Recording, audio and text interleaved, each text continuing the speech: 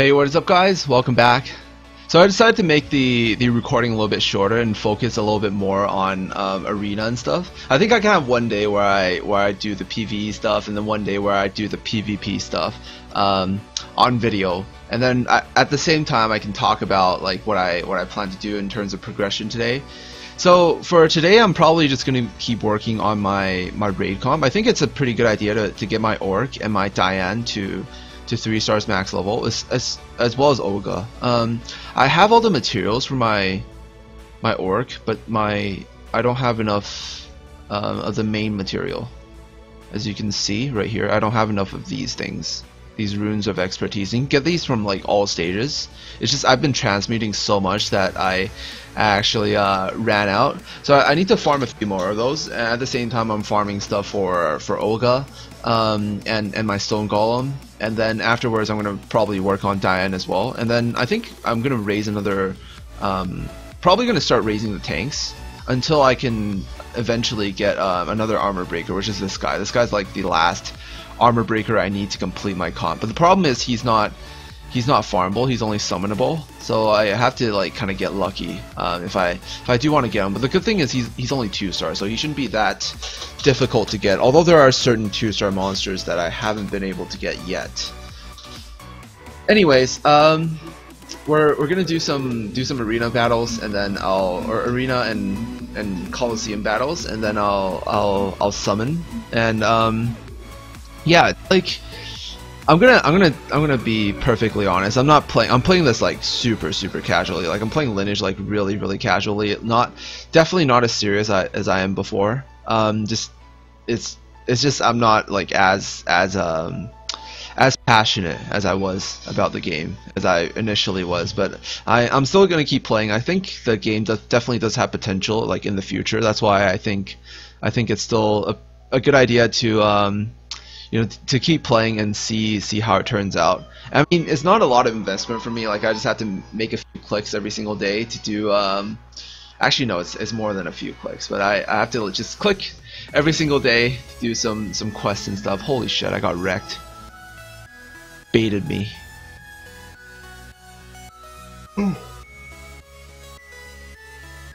Damn it, I lost.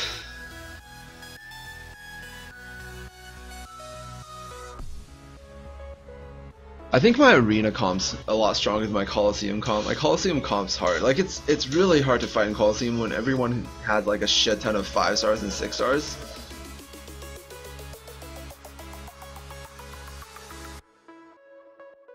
But I think I think it's hard for people in the arena to have like 10 five stars. That would be really really difficult.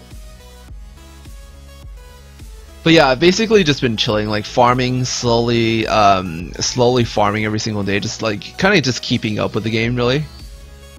Not really actively trying to like stay in top 100 or anything like that. I think I, if I really, really tried during the last hour of the day, I might still be able to like for most, for the most part, stay in top 100. But it's just, it's just gotten so hard. I used to be able to just set a defense and just stay in top 100 the whole entire day, but it's, um, it's really hard to do that when everybody else has like a whole bunch of five stars and six stars and stuff, and you're you're uh, you're like a lot of my best units are only three stars, like my Death Knight, my my Dell, people who are on my main team. Like I had to switch them out of my main team because I wasn't able to to raise their levels anymore. Um, but I think definitely in the future, when when more events roll out, we'll we'll definitely be able to make more five stars and six stars, and eventually the free to play players will catch up.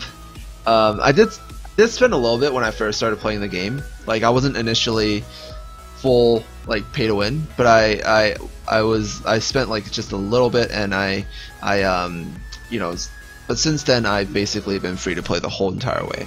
So I think yeah, I think I think I think you can definitely um, still do pretty well if you if you play every single day um, as a free to play player. There's no boxes to open. We definitely need another event. Oh, nice. Is this the free summon day? It is the free summon day. I got 20 soul stones for a 3-star pet. That's pretty awesome. That's really awesome, actually. Although I already have the monster, it's um, it's still really good. Like I got 20 pieces for her basically, and she's a healer. She's a she's a pretty nice healer. So I, I definitely will be able to use her in the future for like guild battle defense and stuff. Um, yeah, that was a, that was a pretty good summon. That was that was a good pull. All right. Um, I don't think there's anything else to to really do.